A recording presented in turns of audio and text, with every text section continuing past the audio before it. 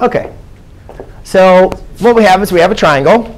It's not written just like this one. However, we do notice that it has a right angle. So therefore, I know it's a right triangle. And since it's a right triangle, I know I can apply the Pythagorean theorem. Now, the Pythagorean theorem says your sides squared equals your hypotenuse. I know this is a, b, and c, and then I threw you in an x. But it doesn't matter what I name the sides of the triangle.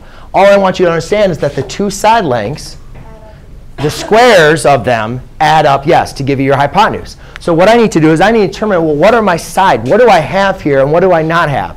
Well, remember, your hypotenuse is always directly across from your right angle. So therefore, do I know what the hypotenuse is? No, I don't know what c squared is.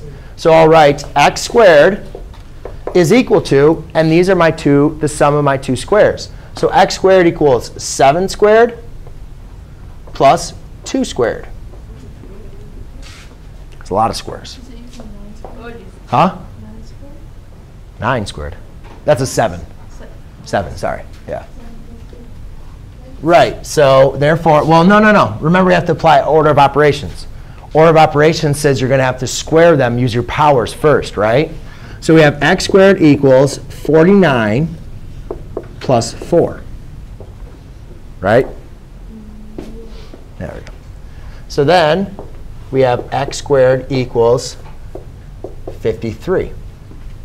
So now we need to solve for x. Does anybody know how to solve for x when we have it squared? Yeah, the square root. You guys remember square roots. Very good. So if I have x squared equals the square, um, x squared equals 53 to undo the square root, let me put it to you this way. If I have x plus 3 equals 5, what's happening to the x? Being added. So the inverse operation would be subtract, right? Now my x is being squared. The inverse operation of squaring is square root. So you take the square root, x equals the square root of 53. As far as I am concerned, that is the simplified. Nope. Well, I'm not going to erase it. I was just saying that's going to be the simplified version of my answer. So therefore, the length of my hypotenuse is going to be the square root of 53. Got it? Gotcha? All right. Yeah.